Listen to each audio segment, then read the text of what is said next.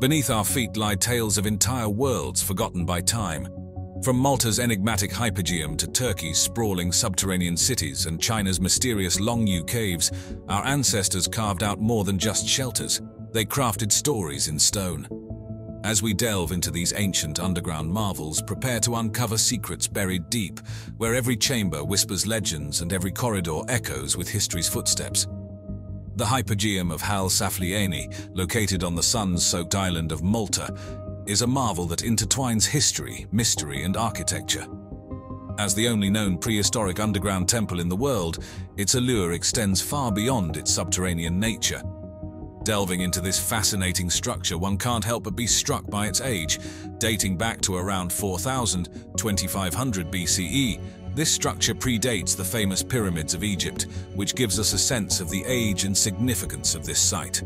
Constructed across three levels and descending to a depth of more than 10 meters, the hypogeum was chiseled meticulously out of the soft limestone that underpins much of Malta's terrain. What's striking is the sheer dedication and effort it must have taken. Picture this ancient builders, with rudimentary tools, intricately carving out spaces in complete harmony with the Earth's contours, ensuring structural stability while crafting vast chambers and corridors. It's a testament to human capability and determination. But it wasn't merely an architectural project. The Hypogeum's primary purpose was spiritual.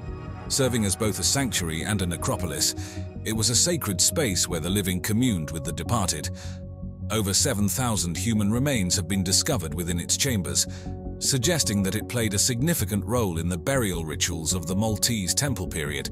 And here's where it gets even more intriguing. Among the remains, archaeologists discovered unique spiral-carved patterns and intricate red ochre paintings. These art pieces hint at a rich tapestry of beliefs, possibly linked to the cycle of life and death or the celestial movements. One of the most fascinating chambers within the hypogeum is the oracle chamber. This chamber possesses unique acoustic properties. A word uttered softly within its confines resonates and amplifies throughout the entire complex. Some believe this was purposefully designed to evoke a sense of the supernatural, where the voices of priests or oracles would boom mystically, reverberating with divine intensity. Amidst these wonders lies the Holy of Holies, a chamber showcasing a detailed reproduction of the exterior of a megalithic temple. This mimicking of external temple architecture in an underground environment raises questions about the cultural and spiritual practices of the temple builders. Were they replicating the above-ground temples as a symbolic gesture, or was it an attempt to merge the worlds of the living and the departed? Though the Hypogeum is a treasure trove of history and culture, much about it remains shrouded in mystery. Numerous questions persist about its builders, their lives, their spiritual beliefs, and the societal significance of this grand subterranean temple. And as we delve deeper into its chambers, we realize that the Hypogeum is not just an ancient relic. It's a doorway, beckoning us to step in and journey through millennia of human endeavor, belief, and ingenuity. Nestled within the historical region of Cappadocia in Turkey, there's an underground marvel that redefines our understanding of ancient human settlements the subterranean city of Derinkuyu. Unlike any conventional city, Derinkuyu challenges the vertical dimension, plunging deep into the heart of the earth rather than sprawling across its surface. Imagine, if you will, a vast underground network, complete with tunnels, chambers, and vents, all meticulously carved out of the soft volcanic rock that characterizes Cappadocia's landscape. This is no mere underground hideaway. Derinkuyu is an intricate city that spans an astounding eight levels deep. Its depth and complexity make it one of the largest underground settlements ever discovered. But why go underground? The initial reasons were practical. Cappadocia's unique geological formations known as fairy chimneys were naturally soft and easy to carve. Over time, as external threats from invaders became more prevalent, these underground havens offered the local population a secure refuge. The entrance doors, massive stone discs, could only be opened or closed from the inside, providing an effective defense mechanism against any intruders. Within this subterranean wonder, one discovers a city teeming with life's essentials. There are living quarters, stables for livestock, storage rooms, wine cellars, and even religious chambers, including churches with impressive frescoes that have withstood the test of time.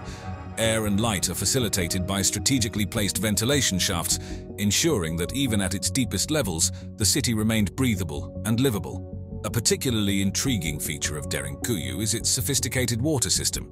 Wells were not connected to the surface to prevent poisoning by any potential invaders. This means that the inhabitants had fresh water, even when under siege, enhancing the city's self-sufficiency. Moreover, the city was connected to other underground cities in the region through miles of tunnels, which hints at a level of cooperation and possibly a complex trade network between these subterranean settlements.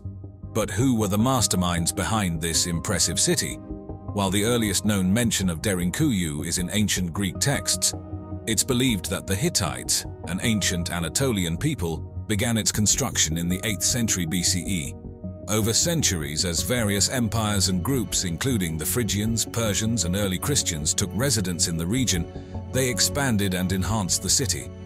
Derinkuyu isn't just a marvel of ancient engineering, it's a testament to human adaptability. It challenges our contemporary notions of what a city should be and highlights the ingenuity of ancient civilizations in ensuring survival amidst external threats. As we walk its dimly lit corridors, the echoes of the past reverberate, reminding us of the lengths humanity can go to preserve and protect its own. In the serene village landscape of Longyou, Zhejiang province in China, lies an intricate puzzle that has both amazed and baffled researchers for decades, the Longyou Caves. These caves, unlike any typical natural caverns, are a testament to human determination, precision and ingenuity. Discovered quite by accident in 1992 by local villagers, these caves were initially assumed to be an ancient quarry. But as the waters were drained and further exploration was conducted, the sheer enormity and complexity of these hand-carved caves began to emerge. Today, 24 caves have been uncovered, though there's speculation that many more might be hidden beneath the surface. Each of the discovered caves is massive, averaging about 1,000 square meters in size with heights reaching up to 30 meters. Now, what's truly remarkable about these caves isn't just their size, but the precision with which they've been carved. The walls, ceilings and pillars are uniformly leveled, with differences in height as minute as a single millimeter. This suggests that the architects behind these caverns had an acute sense of detail and access to sophisticated tools and techniques.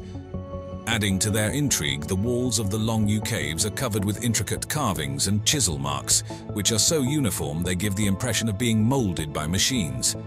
Yet these caves are believed to date back to at least 2,000 years, making the existence of such machinery an impossibility by our current understanding. The mystery deepens when we consider the sheer volume of rock that had to be removed to create these caverns. Estimates suggest that over a million cubic meters of rock were excavated. Where did all this material go? There's no evidence of such vast amounts of debris in the surrounding areas. Another puzzle is the purpose behind these caves. While many ancient underground sites around the world served as tombs, religious sites or shelters, the Longyou caves don't seem to fit any of these categories. There are no historical records, inscriptions or artifacts that provide a definitive answer. Waterproofing is another impressive feature of the Long Longyou caves.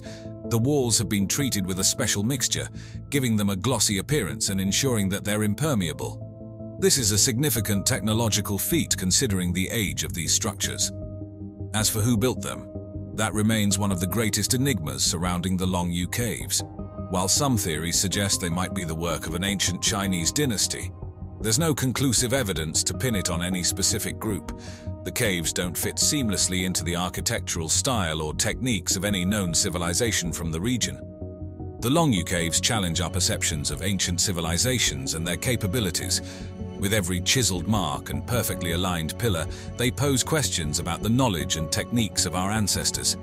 As we continue to explore and decipher their mysteries, these caves stand as silent sentinels of a past that's waiting to be fully understood. Tucked away in the region of Cappadocia, Turkey, lies one of the most incredible architectural wonders, the underground city of Kaymakli. While Cappadocia is already renowned for its unique rock formations and fairy chimneys, Kaymakli adds another dimension, quite literally, by plunging into the depths of the earth.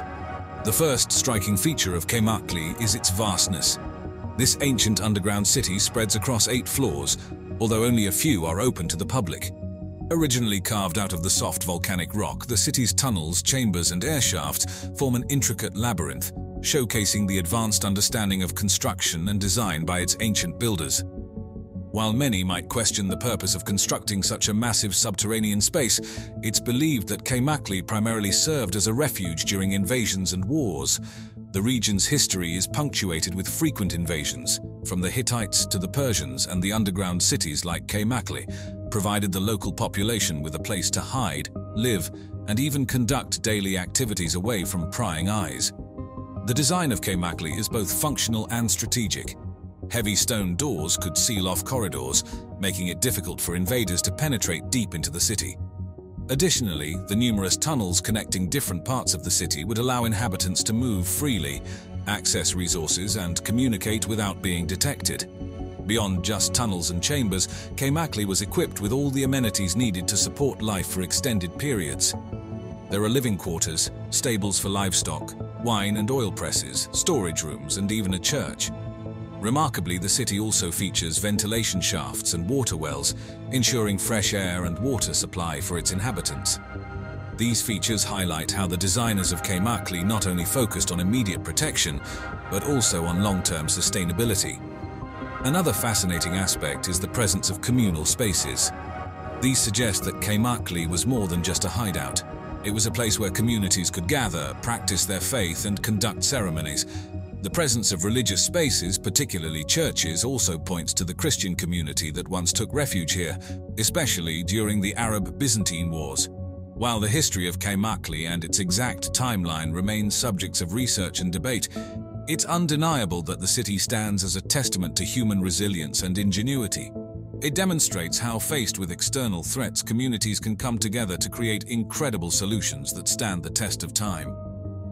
Walking through the dimly lit corridors of Kaymakli, one can't help but be transported back in time, imagining the whispers of ancient inhabitants, the soft glow of oil lamps, and the profound sense of community that this subterranean marvel fostered.